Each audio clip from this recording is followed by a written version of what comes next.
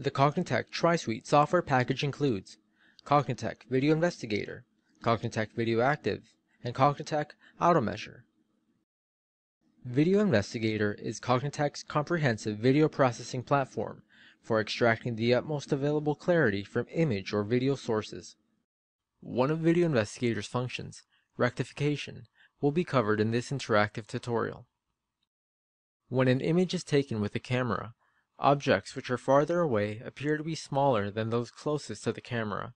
If a picture is taken and the camera is not parallel to the center of an object, this effect causes the proportions of the object to become distorted in the image. Cognitech Video Investigator's rectification filter offers an easy way to rectify the perspective of an image, allowing the proportions of objects in the image to be accurately represented. One helpful use of the rectification filter can be in creating proportion-preserving images without the use of a tripod or time-consuming setup. Displaying accurate proportions of objects in an image can be extremely useful when taking measurements from images. As long as an image has a rectangular object on the same surface as the object which one would like to rectify, the rectification filter will be able to use the rectangle as a reference to rectify the image. The rectification filter can rectify images by using the following transformations. Zoom.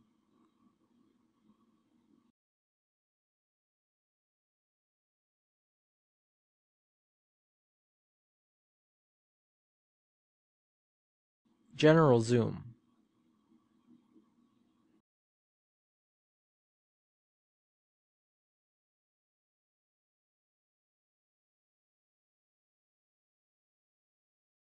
Rotation.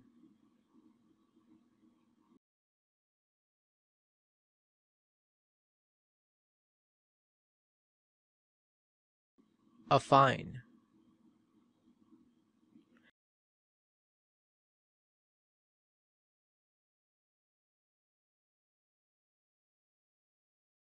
And perspective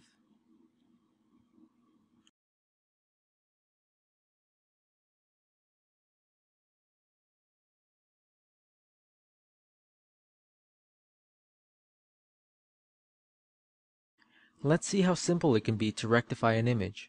Watch me. I'll begin by opening an image. This image was taken at an angle, making this ruler's measurements inconsistent.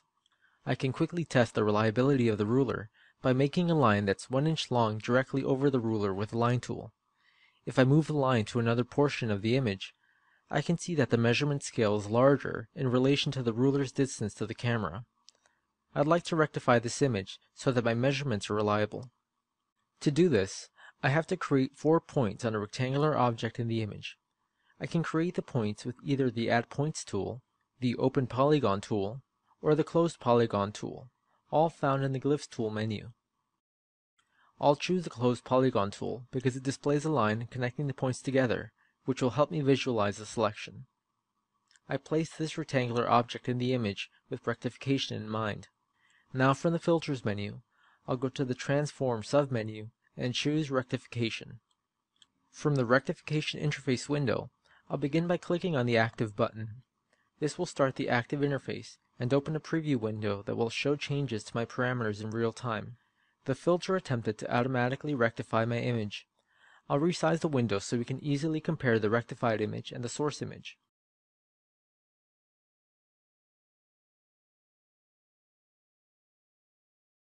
Notice how deselecting certain transformations affect the image. To properly rectify this image, however, I'll select them all.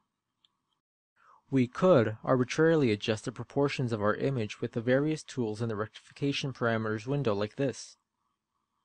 But in order to accurately rectify the proportions of an image, we have to first tell Video Investigator the proportions of our rectangular object.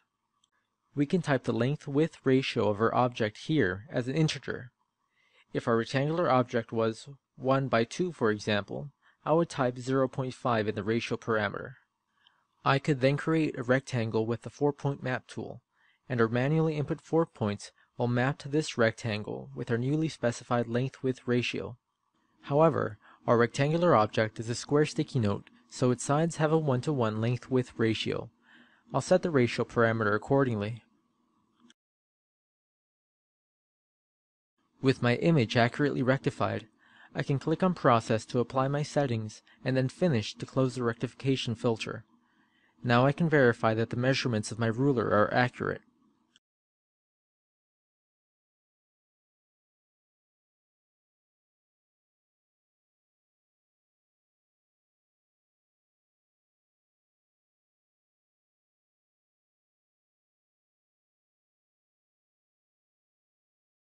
Before we begin the hands-on portion of this tutorial, let's take a look at the Rectification Filters interface window. The Rectify Model section is used to specify the transformations which will be applied to the image. The Rectangle section contains two options, Closest and Specify. Closest creates an output image of optimal size. Specify allows the user to specify the output image size. Near the bottom of the window, you'll also find Center, which centers the rectified image on the four-point map, and clockwise, which will rotate the rectified image clockwise. If you click on the Active button, there will be more parameters available in the preview window. The Pointer tool simply behaves as a cursor. The Zoom tool allows you to zoom in and out of the image. The Horizontal Stretch tool allows you to stretch your image horizontally. The Rotate Z tool allows the standard rotation of an image. The Rotate X tool allows you to tilt an image vertically. The Shift Image tool allows you to move the image within the preview window. The four-point map tool maps the four user-created points to a rectangle. The Reset button resets the image to its original orientation. The Save as Background button is useful for videos. It saves the current rectified frame of video for later use. The saved frame of video can be shown overlaid on another frame of video by using the Show Background button. This technique is useful for quick comparisons between video frames. And lastly, the proportions ratio parameter displays the length-width ratio that user-created points will map to. Congratulations! You have successfully rectified an image with Cognitech Video Investigator. For sales or technical questions, contact us at sales at cognitech.com or tech support at cognitech.com or visit us at www.cognitech.com.